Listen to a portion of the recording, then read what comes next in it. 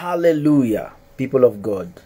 Psalm 55. We are actually on the 55th day since we began season 6, and today is a powerful yet simple message. Cast your burden upon the Lord.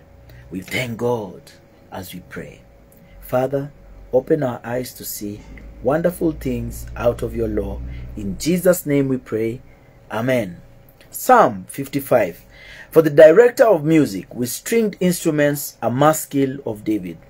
Listen to my prayer, O God. Do not ignore my plea. Hear me and answer me. My thoughts trouble me, and I am distraught at the voice of the enemy, at the stares of the wicked. For they bring down suffering upon me and revile me in their anger. My heart is in anguish within me. The terrors of death assail me. Fear and trembling have beset me. Horror has overwhelmed me. I said, Oh, that I had wings of a dove. I would fly away and be at rest. I would flee far away and stay in the desert. I would hurry to my place of shelter, far from the tempest and the storm. Confuse the wicked, O Lord. Confound their speech, for I see violence and strife in the city. Day and night they prowl about on its walls. Malice and abuse are within it. Destructive forces are, are at work in the city. Threats and lies never leave its streets. If an enemy were insulting me, I could endure it. If a foe was raising himself against me, I could hide from him.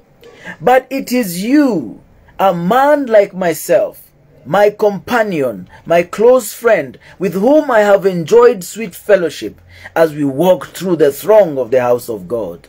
Let death take my enemies by surprise. Let them go down alive to the grave, for evil finds lodging among them. But I call to God, and the Lord saves me. Evening, morning, and noon, I cry out in distress, and he hears my voice. He ransoms me unharmed from the battle waged against me, even though many oppose me. God, who is enthroned forever, will hear them and afflict them. Men who can never change their ways and have no fear of God. My companion attacks his friends. He violates his covenant. His speech is smooth as butter Yet war was in his heart. His words are more smoother, are more soothing than oil. Yet they are drawn swords. Cast your cares on the Lord, and he will sustain you. He will never let the righteous fail. He'll never let the righteous fall. But you, O God, will bring down the wicked into the pit of corruption. Bloodthirsty and deceitful men will not live out half their days. But as for me, I trust in you. There is a complaint about concerning false friends. False friends. False friends are a challenge to a lot of believers. And one thing that I would like to mention to you that the best salve for every kind of sore is prayer. Prayer is the greatest medicine for any kind of sore, broken hearts, situations concerning false friends, any kind of matter. Cast your burden on the Lord. One of the greatest griefs is to find ourselves deceived in some in, in some who have made great pretensions to friendship in the name of religion. But if our minds are stayed on Christ, we may ever have peace of heart. For his peace passes all human understanding. That's why it tells us in the book of Philippians 4 verse 6 and to 7, don't be anxious about anything, but in everything through prayer with supplications make your request known unto God, and the peace of God that, that surpasses all human understanding will guard your hearts and your minds in Christ Jesus our Lord. Beloved, David's suffering at the hands of false friends here is a type of Christ's sufferings. Ahithophel, who is undoubtedly referred to as a type of Judas, for they both hanged themselves. In the book of First Samuel, we read about Ahithophel, the counselor of David, that he betrayed David to his son Absalom, and then later on he committed suicide because his his uh, his um, his advice was not followed. Beloved, cast your cares, cast your burden upon the Lord, and He will watch over you. Well, just allow me to flow through Proverbs chapter 9 because as we do, we have been moving through this entire book throughout. And one thing is about Proverbs chapter 9 from verse 1 to 18 talks about the wisdom being Christ and sin as rivals for the soul of men. As I called out that wisdom is calling and folly is also calling. I invite you to scan through Proverbs chapter 9 to be able to see these amazing nuggets that are there. Let me just pick one of them at random. It says in verse 10 and verse 11 of Proverbs 9 The fear of the Lord is the beginning of wisdom, and knowledge of the Holy One is understanding. Beloved, I pick those two verses and give this conclusion to us that Christ and sin are both seeking to have an uppermost place in the soul of man. We are therefore concerned to put a value. We are concerned to put a value. Yani, we are concerned to put a value upon our own souls and to sit down at the rich feasts provided at the wisdom's table. There is no true wisdom but in the way of Christ. And there is no true life but in the end of his way.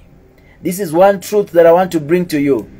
One highlight from Proverbs chapter 9 from 1 to 5 is that heaven is the place where wisdom was has prepared many mansions.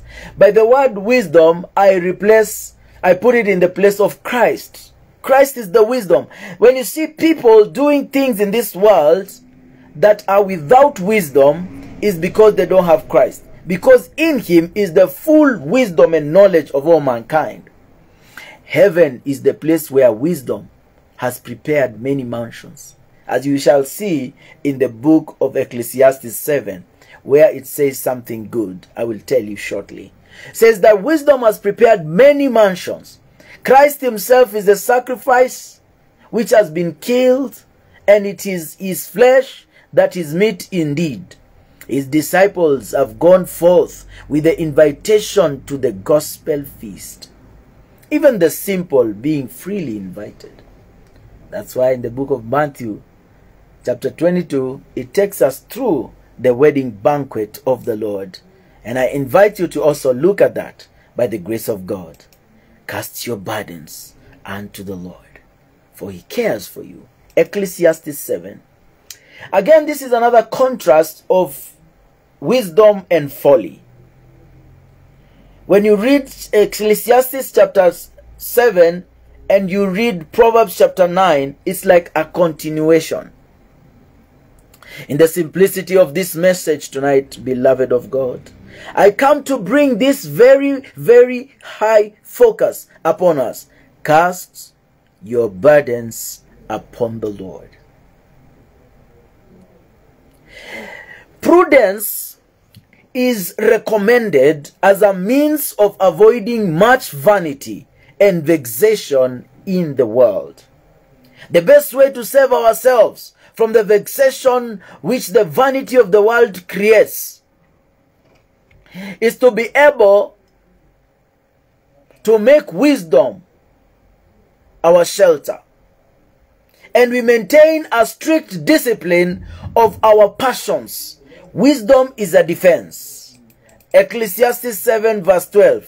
It says, Wisdom is a shelter, as money is a shelter. But the advantage of knowledge is this wisdom preserves those who have it.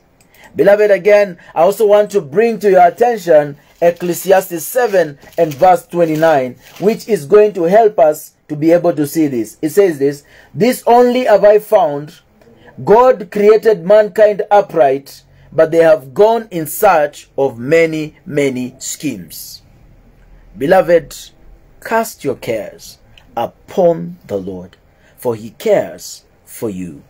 We move on to the book of Second Chronicles. Second Chronicles, chapter 19. Hallelujah. No, no. Are we in chapter? No, no, beloved. We finally here. Hallelujah. We are here in Second Chronicles chapter 20 verse 1 and 36. In fact, if you are giving a standing ovation, we would give a standing ovation to this chapter. Because tonight you will see, this morning you will see, this afternoon you will see what happens when we cast our cares upon the Lord.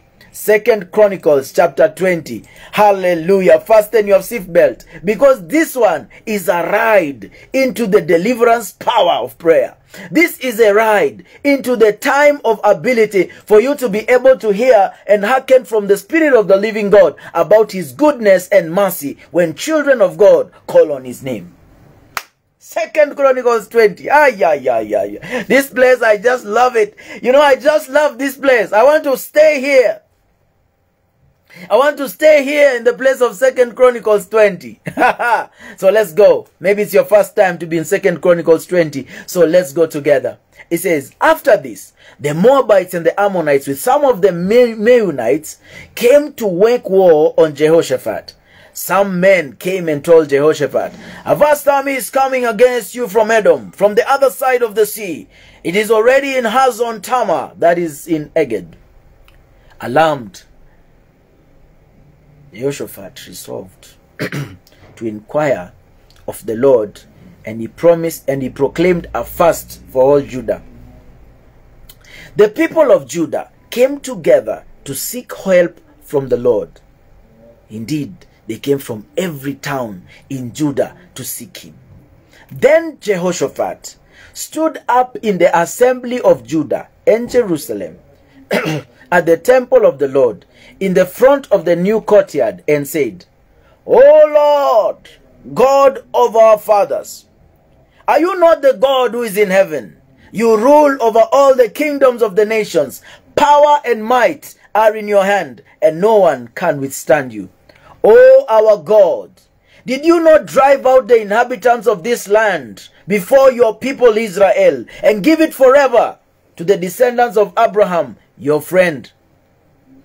They have lived in it and built in it a sanctuary for your name, saying, If calamity comes upon us, whether by sword of judgment or plague or famine, we will stand in your presence before the temple that bears your name and will cry out to you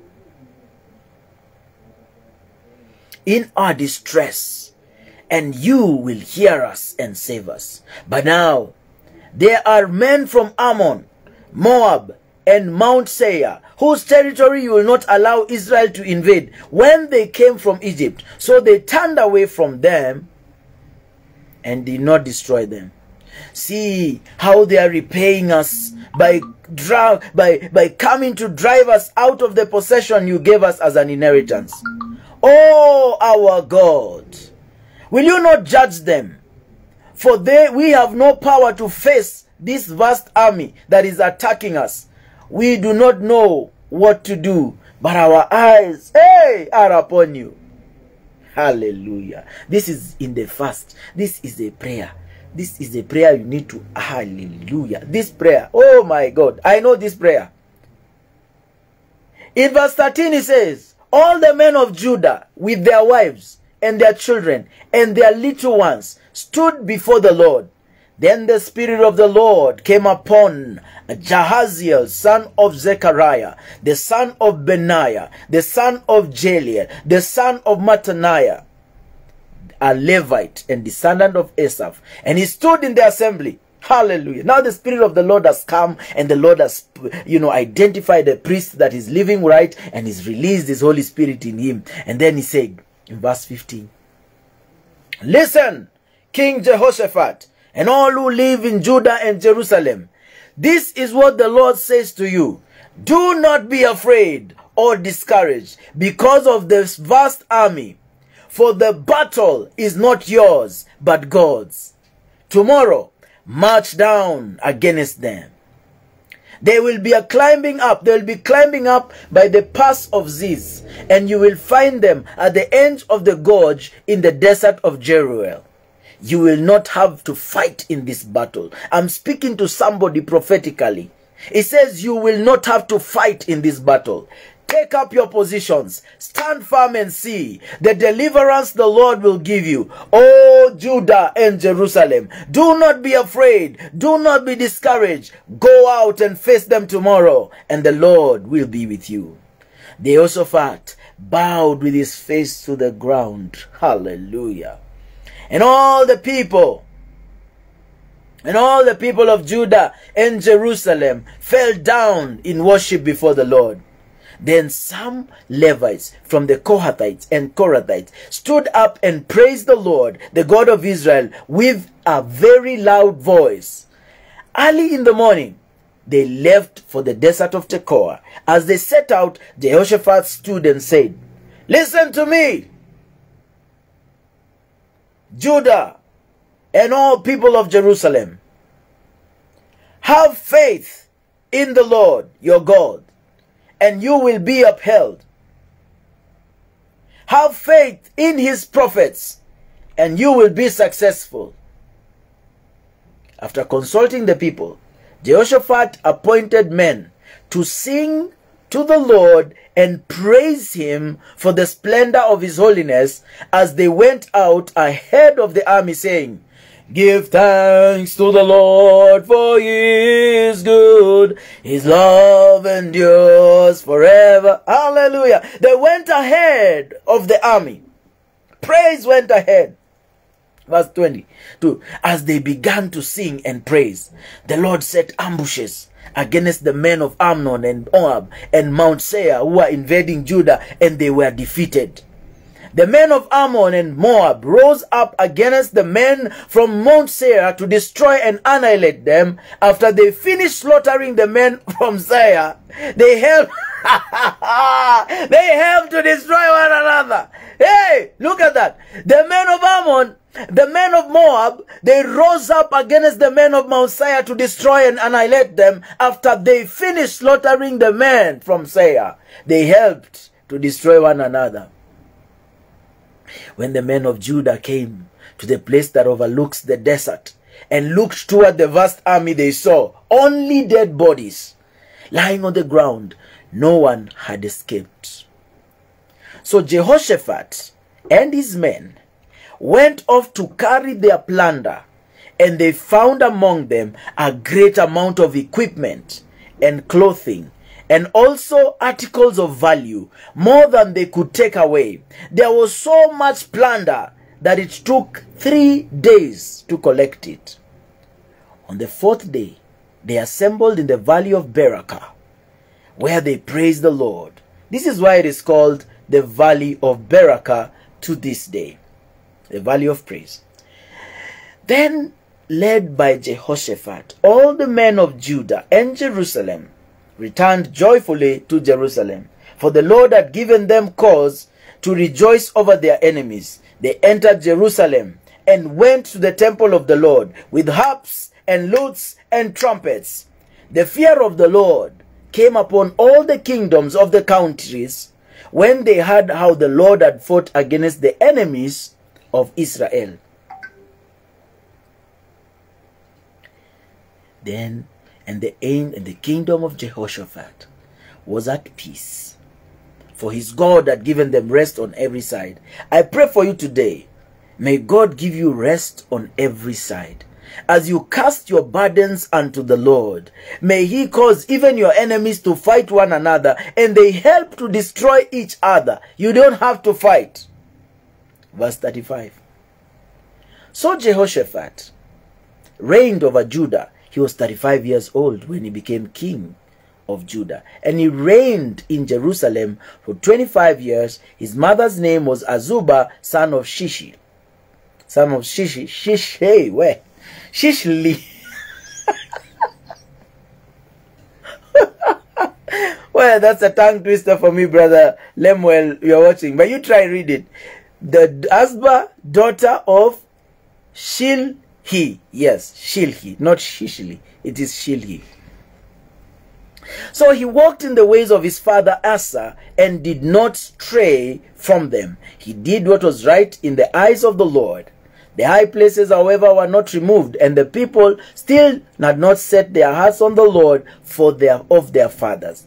The other events of Jehoshaphat's reign, from beginning to end, are written in the annals of Jehu son of Hanani, and which are recorded in the books of the kings of Israel. Later, Jehoshaphat, king of Judah, made an alliance with Ahaziah, king of Israel, who was guilty of wickedness. Ehe, unaona sasa? He has gone ahead, they have not removed the wicked evil altars, and then he has gone and connected himself with a wicked man. Listen to verse 36. He agreed with him to construct a fleet of trading ships after they were built at Ezion Geber. Eliezer, son of Doda, Dodavahu of Maresha, prophesied against Jehoshaphat, saying, "Hmm, Because you have made an alliance with Ahaziah, the Lord will destroy what you have made. And the ships were wrecked and were not able to sail to trade. Beloved, look at this. We are just human beings who sometimes don't understand. Instead of staying on the path of the God of Israel, this man, Jehoshaphat, after seeing a vast army destroy itself, there's no other king which saw this victory. He goes and makes an alliance with a wicked man called Ahaziah. And because of this, God says, you know what? This stuff you have built, I'm going to destroy it. I will destroy it. It will not set sail. There will be no company that is going to be coming out of you because you have given yourself to this man. You know, Ahaziah. Beloved, you have to be careful when we have these victories not to be able to make joints, you know, make connections with Ahaziah. Ahaziah is actually means Jehovah has seized. Yani ameshikwa na Bwana. He's arrested by the Lord. That's the name in the Hebrew. This man that he went to be friends with. Beloved, faith takes God's bonds. You see this kind of war? I come to assure you, God is about to release to you victory that will allow you to have plunder, so much plunder that it takes three days to carry. So much plunder. Knowing that God's bonds, the faith, it takes faith for you to get the bonds of, of to get God's bonds, you know. Knowing they're as good as ready money.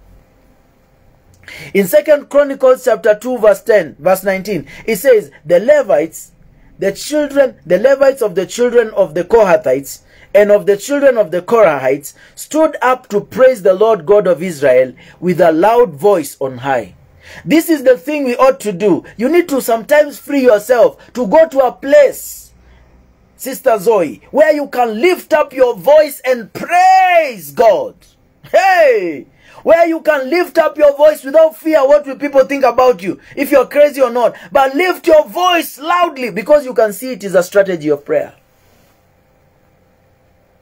if the battle is god's we are on god's side we may be certainly yani we may be certain of shortly being made more than conquerors through him that loved us this is the victory even our faith in the lord jesus christ Beloved, we need to believe. Second Chronicles 2 verse 20. You need to check it out. The valley of Berachah. It's important to see this. Where perpetuated for encouragement of succeeding generations. They even put a place and called this place the valley of Berachah. That generations to trust in God and to remain and to remind us that our praises should be as oftenly repeated as our prayers. We ought to have times when we are just praising. We have times where we are just calling on the name of the Lord. We move on now to the book of Acts. Acts, like I mentioned to you, is one of those places that we are still acting even today as the living saints of God. Yesterday we saw we saw about that beggar who was healed. Now we see about Peter before the council. I will not expound on this. I will proclaim I will proclaim. So that you can also get revelation. The Holy Spirit is also speaking to you as you find time to read His Word. The priest and the captain of the temple guard and the Sadducees came up to Peter and John while they were speaking to the people. They were greatly disturbed because the apostles were teaching the people, proclaiming in Jesus the resurrection of the dead. They seized Peter and John because it was evening. They put them in jail until the next day. But many who heard the message believed. And the number of men grew to about 5,000. The next day, the rulers, elders, and teachers of the law met in Jerusalem. Annas, the, key, the high priest, was there, and so were Caiaphas, John, Alexander, and other men of the high priest family.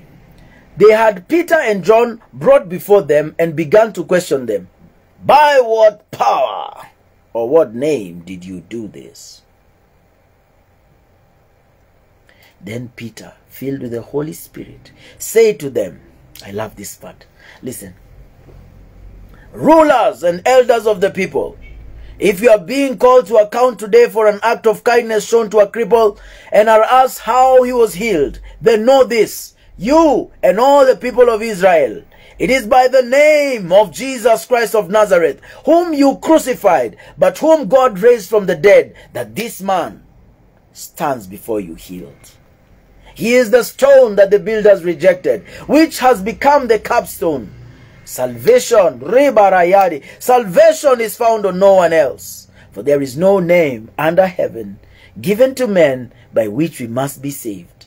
When they saw the courage of Peter and John and realized that they were unschooled ordinary men, hawakuwa wameenda shule, wale walikuwa ni wavuvi wa samaki. They were unschooled ordinary men. They were astonished and they took note that this man had been with Jesus. But since they could see the man who had been healed standing there before them, there was nothing they could say. So they ordered them to withdraw from the Sanhedrin and they conferred together. What are we going to do with this man? They asked. Everybody living in Jerusalem knows they have done an outstanding miracle and we cannot deny it. But to stop this thing from spreading, any further among the people, we must warn these men never to speak any longer in any to anyone in this name. Then they called them in again and commanded them not to speak or teach at all in the name of Jesus. But Peter and John replied, Judge for yourselves whether it is right in God's sight to obey you rather than God. For we cannot help speaking about what we have seen and heard. After further threats, they let them go they could not decide how to punish them because all the people were praising God for what had happened. For the man was actually miraculously healed was over 40 years old. He had lost 40 years for that time. And now he was walking again. What a testimony. Remember this. Cast your burdens upon the Lord. The cripple cast his burden upon the Lord and he was healed. Jehoshaphat cast his burden upon the Lord and he was healed. Wisdom is a mansion, wisdom is a shelter. You need to understand this. Jesus is our shelter. Acts 4:23. On their release, Peter and John went back to their own people and reported all that the chief priests and the elders had said to them. When they heard this, they raised their voices together in God, in prayer to God. And this is the point where you should not miss a prayer meeting. If you hear of a prayer meeting anywhere, don't miss it. Because there is a biblical foundation to raising voices together in prayer to God. Sovereign Lord, they said, you made the heaven and the earth and the sea and everything in them. You spoke by the Holy Spirit through the mouth of your servant, our father David. Why do the nations rage and the people plot in vain? The kings of the earth take their stand and the rulers gather together against the Lord, against his anointed one. This is in Psalms 2. Indeed, Herod and Pontius Pilate met together with the Gentiles and the people of Israel in this city to conspire against your holy servant, Jesus, whom you anointed. They did what your power and will had decided before should happen. Now, Lord, consider their threats and enable your servants to speak your word. Hey! With great boldness, Radebozai. This is a prayer you need to make for yourself.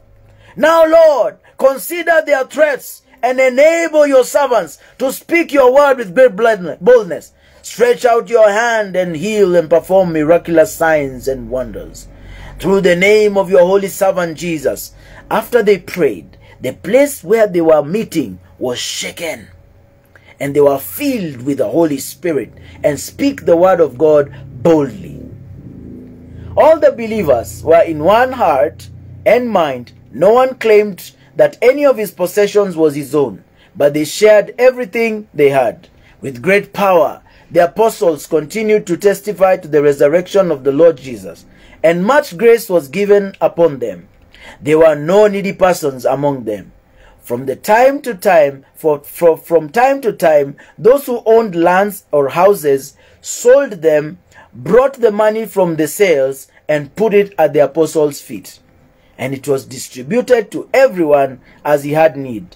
Joseph, a Levite from Cyprus, whom the apostles called Barnabas, which means son of encouragement, sold a field he owned and brought the money and put it at the apostles' feet. Beloved, there's a man called George Muller that lived in our time and generation that did exactly this principle. Acts chapter 1, beloved. Peter has been persecuted at the Sanhedrin and it continues preaching in Jesus' name, forbidden. Sometimes I see people are afraid to preach the gospel. Don't be afraid. The Lord is with you. give you boldness. The more we witness about Jesus, the more the enemy will come to try and put us down. But therefore, let Satan's agents ever be so spiteful. As witnesses of Christ, we must continue to be resolute, for the Holy Spirit may be counted upon to enable us to do our part. Persecution gives wings to the truth. As much as they have slaughtered people in the name of Jesus, like in the place in Fiji, because of that, a big revival came upon the land. I will point out one striking fact from Acts 4, verse 12.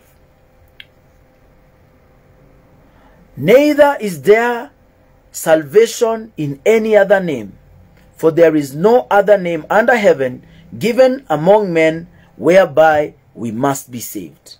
Those who are eternally undone, who do not take shelter in the name of our Lord Jesus Christ, and make it their refuge and strong tower. Only by embracing Him and Him only, receiving His doctrine, is salvation found for any of us. We head now to bring a quick summary of Ephesians 2 1 to 22 as I encourage you to read it as the Lord leads you. Grace by faith. Beloved, a state of sin apart from Christ is a state of spiritual death and bondage to Satan. Whether you are healthy, strong, a big king, a president, a member of parliament, but without Jesus in your life, you are in a state of sin. And if you're in a state of sin, you're in a state of spiritual death awaiting the next death. Ready bondage to Satan. A great and happy change is possible on the basis of Christ's finished redemption, whereby men are quickened to eternal life by faith apart from their own works. God the Father is the author of the plan Christ the Son laid the foundation and the Holy Spirit brings everything back, raises everything in this superstructure. Ephesians 2 verse 7. That in the ages to come, he might show the exceeding riches of his grace in his kindness toward us through, through Jesus Christ our Lord. One great purpose of Christ's salvation is to reveal in ages to come the exceeding riches of God's grace. If all men were saved, it would never be made to appear that we did really deserve to die. In spite of the cross, we angels, and the universe would doubt it. The loss of some men through rejection of Christ sets the doubt at rest and proves to all eternity that all those who are saved were by nature the children of wrath as even the others. So we have not, God does not send anyone to hell. The moment sin came through, through the first, the fall of the first man, that is when everybody was condemned to go to hell. But it's through Jesus only that we can escape this one, this wonderful, uh, this great, great wrath of God. Colossians, Colossians 4, Colossians 4. Again, this is a call for consistent Christian living. We cannot be lacking to have friendship with other fellow servants in the Lord. It is a great refreshment under the sufferings and difficulties in the way of the Lord. It is good for you to have friendships. It adds much to the beauty and the strength of the gospel ministry. When Christ's servants are loving each other, you know, being able to work together easily by the grace of God. Beloved, I come to mention to you just one verse. I'll not mention many because I want you to remember cast your burdens upon the Lord. Continue in prayer and watch in the same with thanksgiving. It says in the NIV, Colossians 4 2, devote yourself to prayer, being watchful and thankful. Cast your burdens upon the Lord. Revelation, Revelation 9. The fifth angel sounded this trumpet.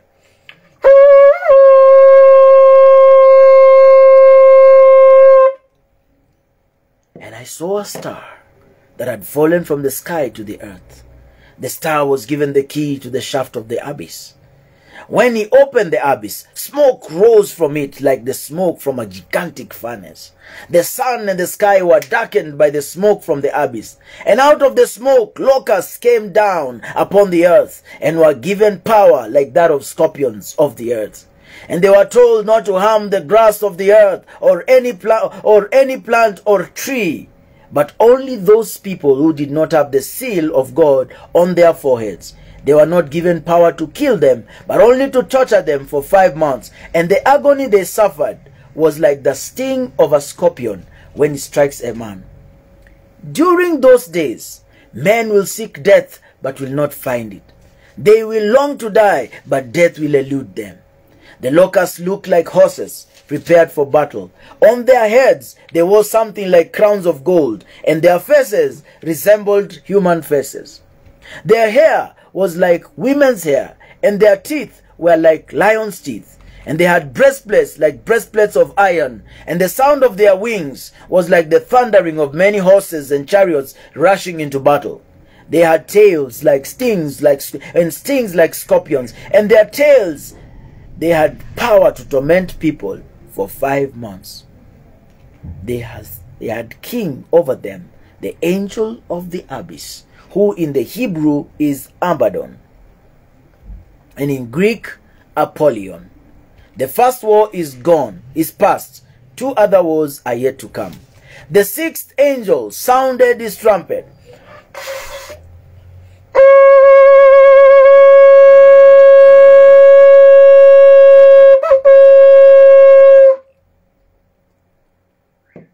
Release the four angels who are bound at the river great Euphrates. And the four angels who had been kept ready for this hour, very hour and day and month, were released to kill a third of mankind. The number of mounted troops was 200 million. I had that number. The horses and riders I saw in my vision looked like this. Their breastplates were very red with dark and dark blue and yellow as sulfur. The heads of the horses resembled the heads of lions, and out of their mouths came fire, smoke, and sulfur.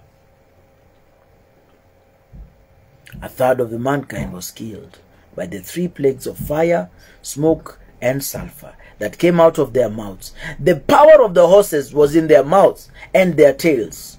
For their tails were like snakes, having heads to inflict injury. The rest of mankind that were not killed by these plagues still did not repent. And the work of the work of their hands, they did not stop worshipping demons and idols of gold, silver, bronze, stone, and wood. Idols that cannot see or hear, nor did they repent of the murders, their magic acts, their sexual immorality, or their thefts. Beloved, Revelation 9 something that we ought to know that it will be so fearful and unbearable. Will the conditions be in the great tribulation? When satanic powers are unrestrained let me tell you there will be no 150 days of psalms in the great tribulation. There will be no word of god being proclaimed because the church of the lord jesus will have been raptured taken with him to go and prepare for the millennial rule back on the earth. But for this one time that this great tribulation is there, the only way that you can cross over is by your death. This tribulation, I'm telling you, you don't want to wait for it. For me, I'm not going to be here. May the Lord give me grace to cast my burdens to the Lord, all my cares to the Lord, that you too will cast your cares to the Lord because men will long for death and even try to commit suicide. But they'll find the power of self destruction was taken away from them. Happy are they who shall escape all these things that shall come to pass through true faith in the Lord Jesus Christ. I want to give you that opportunity to escape this great, great tribulation that shall come. The trumpet wars Revelation 9 verse 12. It says, One war is past, and behold, there come two wars more thereafter. Beloved, one of the things that I want you to understand, Revelation 9 6, it says this, And in those days men shall seek death and shall not find it, and shall desire to die, and death shall free from them. Yani somebody will throw himself from a big building. We 100 floors come and smash down, pa, break into pieces and not die. So they collect his body, put him there. He's gonna not die. He's not gonna have an hospital. He's gonna stay there alive, broken, no hands, nothing. Kill yourself. Take a gun, shoot. Pa! The head goes apart. You are still alive. This is how it looks. Dangerous time. Why wait for that? Why wait for the great tribulation? Why wait to wish death? Cast your burdens unto the Lord. While there is time, give your life to Jesus. Romans chapter 10 verse 9 says, If you confess with your mouth Jesus is Lord and believe in your heart God raised him from the dead, you shall be saved. I believe you are there watching me. Maybe many, many years or you've just come across this video. You then know that how you came and landed on this video is because of the Holy Spirit. I want to lead you to the Lord now. Pray this prayer with me. Say, Lord Jesus, I confess with my mouth that you are Lord. I believe in my heart God raised you from the dead. Write my name in the Lamb's book of life. I am born again. The old is gone, the new has come. Fill me with your Holy Spirit and with your fire. In Jesus' name, amen. Beloved, as we've come to a close of this broadcast, I come to encourage you cast your burdens upon the Lord, for He cares for you. I will give you these last two verses of Psalm 56, 55 that indeed you may meditate upon them and even you may write them in the tablets of your heart. You may make a t shirt out of them if you like, but don't forget these words. It says this Cast your burdens on the Lord. Cast your cares on the Lord, and he will sustain you. He will never let the righteous be shaken. But you, God, will bring down the wicked into the pit of decay. The bloodthirsty and deceitful will not live out half of their days. But as for me, I trust in you. God bless you. Thank you for tuning. Share this video and be a blessing in every way. Please do drop me questions on the comment section or comments or something that has come across your spirit as we are reading. Also, you can write to my WhatsApp, even plus 254 722 087 087, and that will be a blessing in every way. Cast your burdens unto Jesus. For he cares for you. Hallelujah. Cast your burdens, hey, unto Jesus, hey, or he